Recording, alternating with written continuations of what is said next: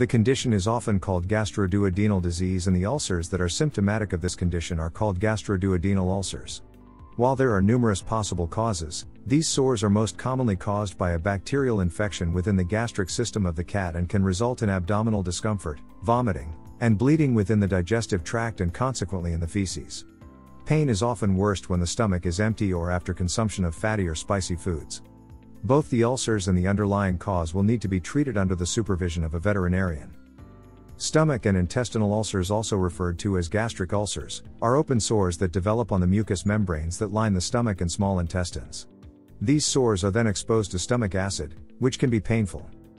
Causes of stomach and intestinal ulcers in cats. There are several possible causes of gastric ulcers in cats, but the most common are the following bacterial infection of the digestive tract, usually by one of the many variations of bacteria called Helicobacter, which studies have shown is exceedingly common in the gastrointestinal system of cats. Sustained use of nonsteroidal anti inflammatory drugs. Stress caused by surgery, injury, or shock. Various intestinal parasites. Underlying diseases such as renal, or kidney, failure, hypovolemia, which is low blood plasma, inflammatory bowel disease, or cancer. Symptoms and types. There are many symptoms that can develop as a result of gastroduodenal ulcers, of which some may remain undetected until the cat's condition becomes severe. For instance, cats are less likely to show clinical evidence of gastrointestinal bleeding. The following are some of the more common symptoms. Anemia, weakness, weight loss, loss of appetite, rapid heart rate, vomiting, most often seen, blood in vomiting, Hematemesis.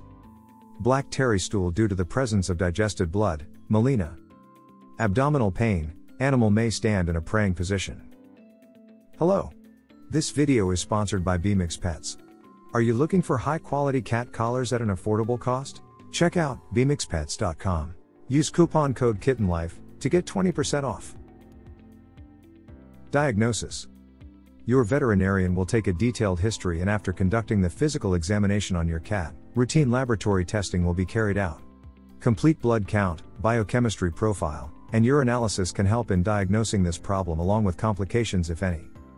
Blood testing, for example, may reveal anemia in patients with bleeding, whereas in cases with chronic blood loss, iron deficiency anemia may be seen. In some cats, decreased number of platelets, cells important for blood clotting and white blood cells may be seen. Fecal material is also analyzed to see if blood is present in it or not, while abdominal x rays and ultrasounds assist in diagnosing any foreign body, mass in the stomach, or duodenum. In the case of a tumor, a thoracic x ray may help in finding the metastasis of the tumor to the lungs. Endoscopy, a procedure in which a veterinarian will look directly into the stomach and duodenum using an endoscope, is the method of choice for definitive diagnosis. In addition, Endoscopy allows the veterinarian to remove any foreign bodies and take a biopsy. A rigid or flexible tube will also be inserted in the stomach and duodenum in order to take photographs. Treatment One thing pet owners need to be wary of when starting treatment for dogs or cats with stomach ulcers is rebound hyperacidity. Often, when long term treatment with either an H2 blocker or a proton pump inhibitor medicine is discontinued, gastric cells produce acids and enzymes at an increased rate which can worsen the condition. Gradual tapering of these medications is often needed once symptoms have been controlled. The ultimate goal is to treat the underlying cause while easing the cat's symptoms. However, gastroduodenal ulcers are sometimes associated with hemorrhaging, shock, or severe abdominal infection.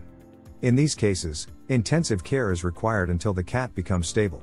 Fluids are given to maintain body fluid levels, and in some patients, a blood transfusion may be required to overcome the deficit caused by extensive bleeding. If the bleeding continues, your veterinarian may infuse ice water in the cat's stomach for 20 to 30 minutes to help in stopping the bleeding. Surgery may also be required in cats with perforated stomach or intestinal ulcers, or if tumors are present. Recovery of stomach and intestinal ulcers in cats. Depending upon how critical your cat's condition was at the time of diagnosis, your cat may need to stay at the veterinary hospital overnight or for several days for hydration, observation, and treatment. Your cat's prognosis is dependent upon the underlying cause of the ulcers. The prognosis is usually not very good for cats that have developed ulcers due to cancer or kidney failure, However, cats that have developed ulcers because of bacterial infections, gastrointestinal parasites, or nonsteroidal anti inflammatory drugs usually have a positive prognosis after 6 to 8 weeks of treatment. Your veterinarian may perform periodic endoscopies to measure your cat's progress. If you enjoyed this video, kindly press the like button. Also don't forget to subscribe with notifications on, so that you don't miss out on videos like this. Thank you for watching.